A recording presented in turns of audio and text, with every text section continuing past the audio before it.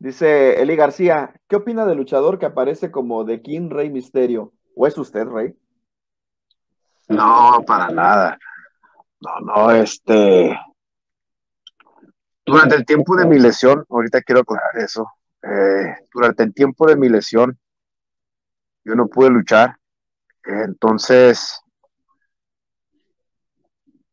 eh, hubo unas personas ahí que, que, pues que usaron el nombre con autorización de mi padre para cubrir unas fechas, eh, ¿verdad? Entonces, fuera de ahí, el único que quedó fue, fue este, esta persona que, que se pone de King Rey Misterio, ¿no? Entonces, él sí tiene la autorización de mi padre para usar el, el, el personaje.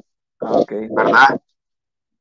Pero eh, yo en lo personal, empezar, él no es nada de la familia, ¿verdad? Simplemente sea, es una persona X. En lo personal a mí no, no, yo no estoy de acuerdo con eso, pero a final de cuentas el acuerdo no es conmigo y el dueño del personaje pues es mi padre. ¿no? Entonces, eh, yo lo respeto, pero yo siempre he dicho una cosa, aquí hay que respetar los diseños, hay que respetar este, ahora sí que el camino que ha forjado cada quien, ¿no? Yo por ser primo de Rey Misterio Junior, Rey Misterio 619, no me voy a poner pupilentes, no me voy a poner pantalones aguados como los usaba él, no me voy a poner el 619. ¿Por qué? Porque yo quiero forjar mi propia liga, yo quiero forjar mi historia, ¿verdad?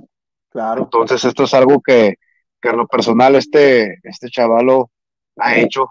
Cuando él salió, sacó equipos míos, sacó equipos de Oscar, sacó equipos de, de todo mundo. Entonces eso, en, en, lo personal, yo, yo he tenido problemas con él, Mm, por eso mismo, ¿verdad? Este, pero bueno, yo creo que la gente sabe quién es quién, saben quién es el original y saben quién es el auténtico hijo de Rey Misterio. Muy bien, muy bien.